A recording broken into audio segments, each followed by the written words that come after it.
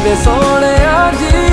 ਦਰਸ਼ਕੋ 16 ਫਰਵਰੀ ਨੂੰ Punjabi romantic film ਜੀਵੇ ਸੋਨਿਆ ਜੀ ਰਿਲੀਜ਼ ਹੋਣ ਜਾ ਰਹੀ ਹੈ, ਜਿਸ ਵਿੱਚ ਸਾਨੂੰ ਫਰੈਸ਼ ਜੋੜੀ ਆਫ ਪੰਜਾਬੀ ਇੰਡਸਟਰੀ ਸਿੰਮੀ ਚਾਹਲ ਤੇ ਇਮਰਾਨ ਅਬਾਸ ਨਜ਼ਰ ਆਉਣਗੇ। ਕਿਉਂਕਿ ਇਸ ਫਿਲਮ ਤੋਂ ਪਾਕਿਸਤਾਨੀ ਐਕਟਰ ਇਮਰਾਨ ਅਬਾਸ ਆਪਣਾ ਡੈਬਿਊ ਕਰਨ ਜਾ ਰਹੇ ਨੇ ਪੰਜਾਬੀ ਇੰਡਸਟਰੀ ਵਿੱਚ। ਇਸ ਫਿਲਮ ਦੀਆਂ ਪ੍ਰੋਮੋਸ਼ਨਸ ਜ਼ੋਰਾਂ ਸ਼ੋਰਾਂ ਨਾਲ ਚੱਲ ਰਹੀਆਂ ਨੇ। ਖਾਸੀਅਤ ਦੀ ਗੱਲ ਕਰੀਏ ਤਾਂ ਇਸ ਫਿਲਮ ਦੀ ਖਾਸੀਅਤ ਹੈ ਕਿ ਜੀਵੇ ਸੋਨਿਆ ਜੀ ਪਹਿਲੀ ਪੰਜਾਬੀ ਫਿਲਮ ਹੈ ਜਿਸ ਦਾ ਪ੍ਰੀਮੀਅਰ ਦੁਬਈ ਮਾਲ ਦੇ ਰੀਲ ਸਿਨੇਮਾ ਵਿੱਚ ਕੀਤਾ ਜਾ ਰਿਹਾ ਹੈ 14 ਫਰਵਰੀ ਨੂੰ। ਦੱਸ ਦਈਏ ਕਿ ਰੀਲ ਸਿਨੇਮਾ ਵਰਲਡ ਦਾ ਸਭ ਤੋਂ ਵੱਡਾ ਸਿਨੇਮਾ ਹੈ। ਇਸ ਫਿਲਮ ਦਾ ਟ੍ਰੇਲਰ ਲੋਕਾਂ ਨੂੰ ਕਾਫੀ ਪਸੰਦ ਆ ਰਿਹਾ ਹੈ ਤੇ ਫੈਨਸ ਬੇਸਬਰੀ ਨਾਲ ਇਸ ਫਿਲਮ ਦੀ ਉਡੀਕ ਕਰ ਰਹੇ ਨੇ। ਆਲਰੇਡੀ ਇਸ ਫਿਲਮ ਦੇ ਦੋ ਗਾਣੇ ਰਿਲੀਜ਼ ਹੋ ਚੁੱਕੇ ਹਨ, ਜੋ ਕਿ ਨੇ ਇਸ ਫਿਲਮ ਦਾ ਟਾਈਟਲ ਟਰੈਕ ਤੇ ਦੂਜਾ ਹੈ ਜ਼ਰੂਰੀ ਹੈ। ਇਸ ਫਿਲਮ ਦੇ ਰਿਗਾਰਡਿੰਗ ਨਵੀਂ ਅਪਡੇਟ ਸਾਹਮਣੇ ਆਈ ਹੈ ਤੇ ਉਹ ਹੈ ਕਿ ਇਸ ਫਿਲਮ ਦਾ ਤੀਸਰਾ ਗਾਣਾ ਵੀ ਮੇਕਰਸ ਵੱਲੋਂ ਰਿਲੀਜ਼ ਕਰ ਦਿੱਤਾ ਗਿਆ ਹੈ।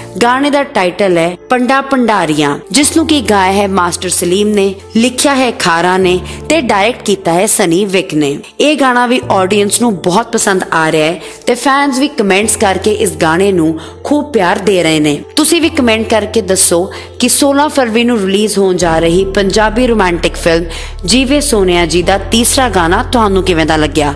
ਇਸ ਤਰ੍ਹਾਂ ਦੇ ਹੋਰ ਅਪਡੇਟਸ ਦੇ ਲਈ ਜੁੜੇ ਰਹੋ ਪੰਜਾਬ ਪਲੱਸ ਟੀਵੀ ਦੇ ਨਾਲ